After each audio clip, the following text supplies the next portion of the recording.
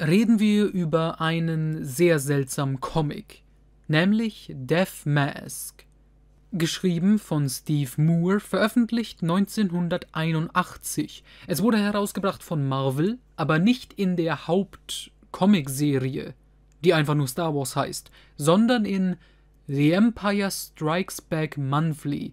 Und das war quasi die Star Wars Comic-Reihe in England, nicht die amerikanische.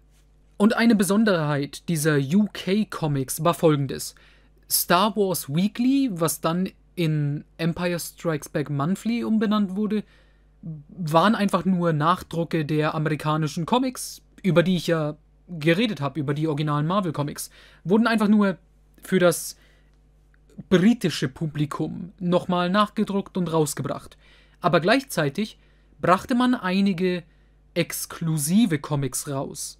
Und diese wurden später größtenteils unter dem gemeinsamen Titel Devil Worlds gesammelt.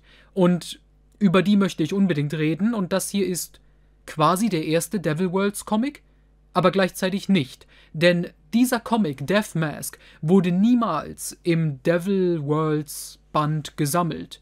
Was seltsam ist, denn das ist der einzige UK-exklusive Comic, der nicht als Devil World gesammelt wurde. Ich weiß nicht warum. Er passt thematisch, denn Devil Worlds, diese UK-Comics sind Drogentrips, um es freundlich zu sagen. Die meisten davon wurden von Alan Moore geschrieben. Mehr muss ich da eigentlich gar nicht sagen. Und Death Mask wurde nie ins Deutsche übersetzt. Es wurde nachgedruckt in der Star Wars Epic Collection, die Original Marvel Years Nummer 1, denke ich. Und diese Story, es ist einfach eine Kurzgeschichte. Es spielt nach Episode 5, was interessant ist.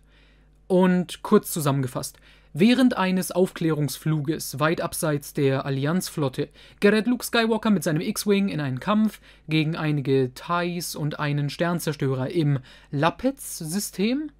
Und die Imperialen wollen Luke gefangen nehmen. Und dafür benutzen sie einen Typ namens Eltin Wuhu und dessen dämonische Affenkreatur Reist. Und wenn ich sage, es ist eine Affenkreatur, dann meine ich, es ist ein kleiner Affe mit einem Totenkopf, Skelettkopf als Gesicht.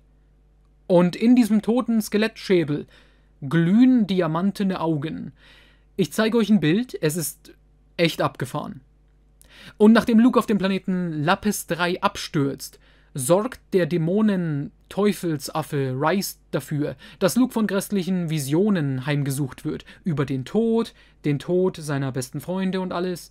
Und Luke gelingt es schließlich, den Bann zu brechen und das Wesen tödlich zu verwunden. Und danach erledigt Luke auch Wuhu. Und dann kann Luke erfolgreich fliehen. Also es ist.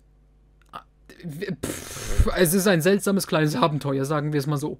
Die Grundstory an sich ich meine, okay, das Imperium will Luke gefangen nehmen, sie schießen ihn ab und eine seltsame Star Warsige Kreatur beschert ihm Albträume und Visionen, um seinen Verstand zu brechen. Da denke ich mir, okay, das klingt doch eigentlich ganz simpel, das klingt nicht nach etwas allzu Außergewöhnlichem. Was es seltsam macht, ist das Design von der Affenkreatur Reist. Es ist wirklich ein ganz normaler Affe mit einem Totenkopfkopf und das ist interessant. Und es gibt noch einen kleinen Twist mit diesem Wuhu, dem Besitzer des Affen. Er ist nicht ganz menschlich, so viel sag ich mal. Und insgesamt Death Mask.